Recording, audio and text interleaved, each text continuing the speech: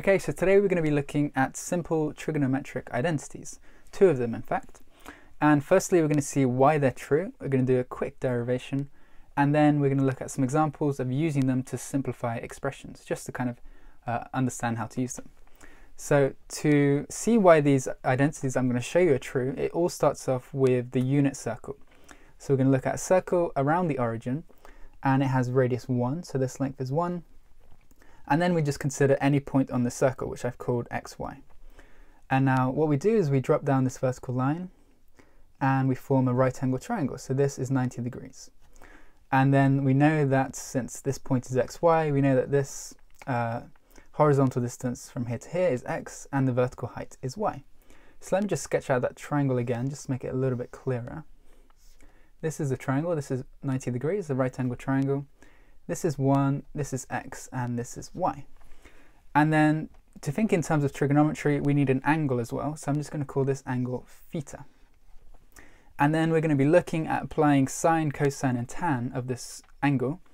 And we can actually express it from its definitions in terms of the ratio of these lengths. So let me just do that. We can actually find a formula for sine of theta.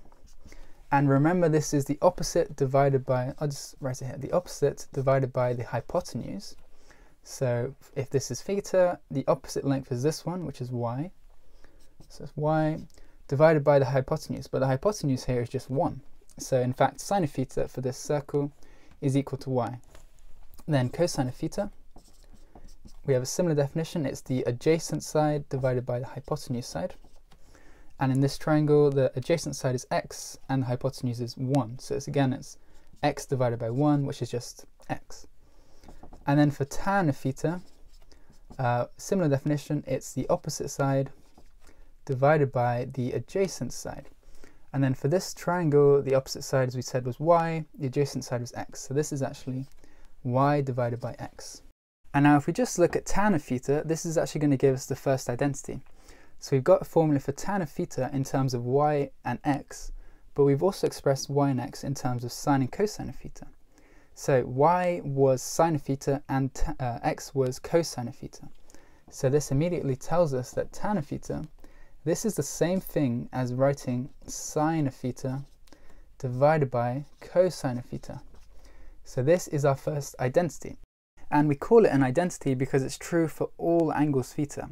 It doesn't just have one solution, this is actually always true, no matter what angle theta we choose. So I'll just uh, put this in a box because it's really important.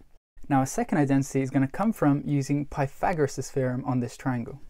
So if we apply Pythagoras to this, then we have x squared plus y squared equals 1 squared, which is just 1. And we can do this because this is a right angle triangle. And just as before, we have formulas for x and y in terms of sine and cosine.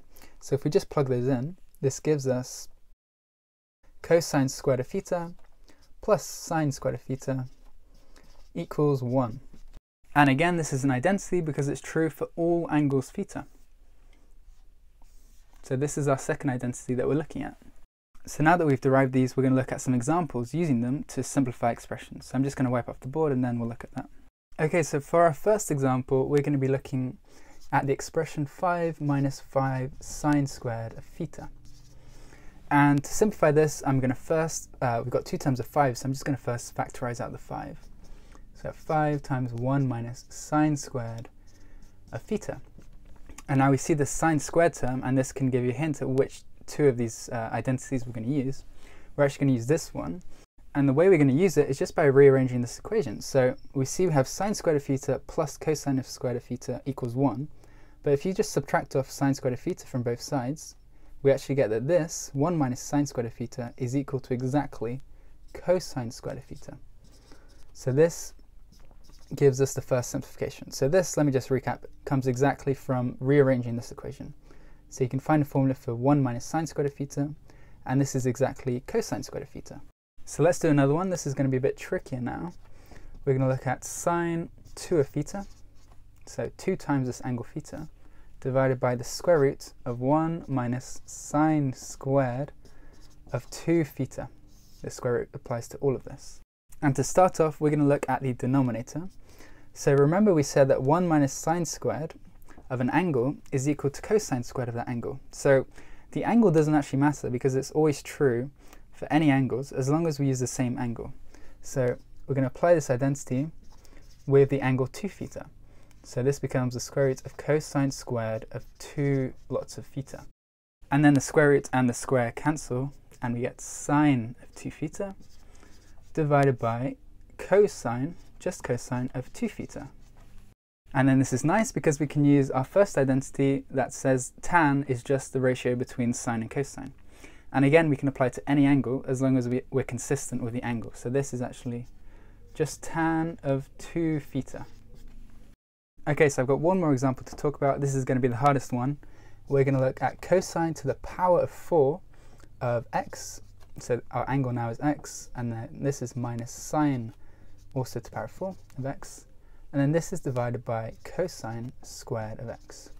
Now to simplify this, we're going to use a clever factorization, which I really like. So we see we actually have a difference of two squares on the top. So I can actually write this as cosine squared of x minus sine squared of x.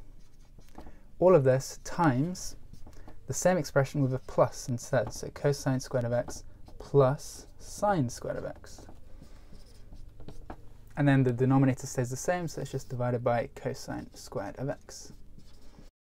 And now why that's particularly nice is because this second bracket, cosine squared of x plus sine squared of x, this is exactly our second identity, and it tells us that this bracket is equal to 1. So we can just get rid of it essentially, and this simplifies to cosine squared of x minus sine squared of x, all divided by cosine squared of x. And now we can simplify by splitting up this fraction into two fractions. So I'm just going to write it as cosine squared of x divided by cosine squared of x.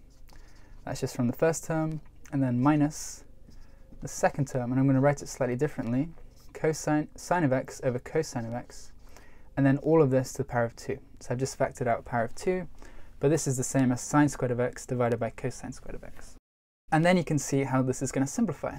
So these two terms cancel, we get a 1, then minus, we said the sine over cosine was just tan, so this is tan of x. But we've still got the squared term, so this is 1 minus tan squared of x.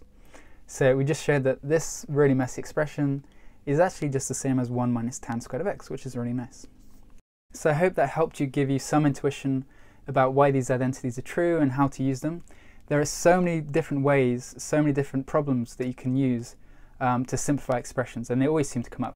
So these are two identities that are really good to know.